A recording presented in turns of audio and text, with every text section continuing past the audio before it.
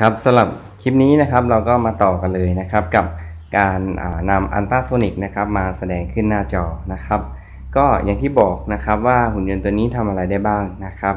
ก็ขึ้นอยู่กับจินตนาการของผู้เรียนนะครับ แล้วก็ที่สำคัญก็คือถ้าหากว่าเราไม่เริ่มต้นวันนี้นะครับ เราก็จะ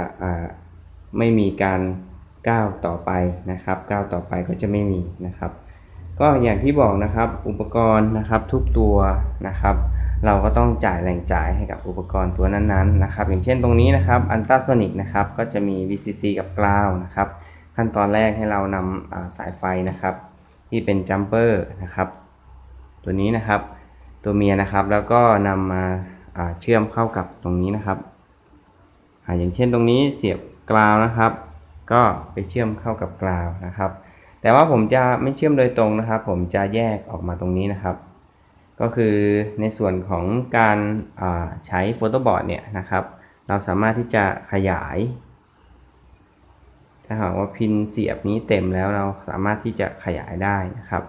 ตรงนี้เป็นกราวนะครับ ก็เพิ่มเติมเข้าไปนะครับกราวโอเคนะครับ แล้วก็ VCC VCC นะครับ ทีนี้ก็ในส่วนของ VCC ก็ต้องเชื่อมโยงเข้าหากันนะครับ ผมเพิ่มตรงนี้นะครับ อ่า แล้วก็มีในส่วนของ Echo กับ Trigger นะครับ ในส่วนของ2 2ตัวนี้นะครับ เราใช้เป็นขา 12 กับขา 13 นะครับ โอเค อันต้าโซนิกนะครับ ถ้าเรามองมองจากตรงนี้นะครับ ก็จะมีเขียนบอกว่าตรงไหนเป็น Trigger Echo นะครับ อาจจะยังอ่าโอเคนะครับ เห็นไหมครับ ข้างๆ VCC เป็น Trigger นะครับ เราก็อ่าโอเค ก็เป็นสายสี โอเคสีส้มนะครับ ส่วนสีเหลืองเป็น Echo นะครับ Trigger สิบสองนะครับ Trigger ขา12นะครับ ก็ใส่เข้าไปขา12ก็คือ pin 12นะครับ โอเคเสียบให้ตรงนะครับ แล้วก็ Echo ขา11ตรงนี้เราสามารถไปแก้ที่โปรแกรมได้นะครับ ก็ประมาณนี้นะครับ เมื่อเราเสียบเข้าไปแล้วนะครับ ก็ลองอเบิร์นโปรแกรมนะครับ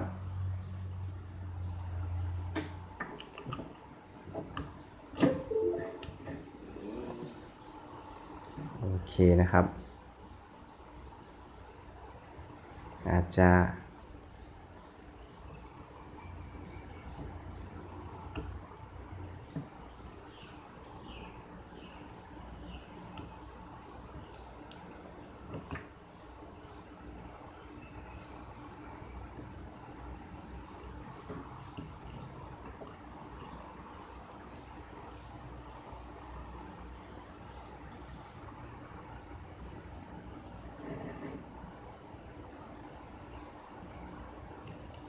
ต้องเสียบให้ตรงนะครับ ตรงพินที่เราตั้งค่าไว้นะครับ เดี๋ยวเราลองเสียบดูอันหนึ่งฮะโอเคนะครับ ในส่วนของการทำงานของอันต้าโซนิกนะครับ ก็อย่างที่บอกนะครับ การทำงานของเขาก็คือเป็นการใช้คลื่นนะครับสะท้อนนะครับ อย่างตรงนี้นะครับผมนำมือมาวางตรงนี้ครับเป็นไหมเห็นไหมครับ ก็จะขึ้นนะครับ US เท่ากับ 6 cm คือเซนติเมตรนะครับ ก็อาจจะไม่เป๊ะเท่าไหร่ แต่ว่าก็พอใช้ได้นะครับ อย่างตรงนี้นะครับ ก็นะครับ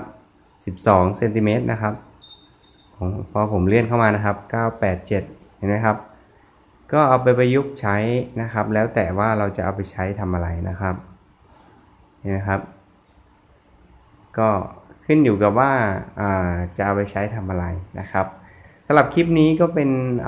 คลิปแนะนำนะครับว่าเราจะทำอะไรกับตัวหุ่นยนต์บ้างนะครับเดี๋ยวช่วงหน้านะครับ เดี๋ยวผมจะนำในส่วนของตัวบัตเซอร์นะครับ ต่อเข้ากับพิน 13 นะครับ เวลาอัปโหลดจะได้มีเสียงนะครับ แล้วก็มีในส่วนของพุทบัตทอนสวิตนะครับ เพื่อกดรับค่าแล้วก็ให้แสดงที่หน้าจอด้วยนะครับว่าอ่ามีค่าเท่าไหร่ยังไงนะครับ โอเค เดี๋ยวสำหรับคลิปนี้ก็ ยาวแล้ว เดี๋ยวแค่นี้ก่อนแล้วกัน เดี๋ยวต่อคลิปหน้านะครับสำหรับคลิปนี้ สวัสดีครับ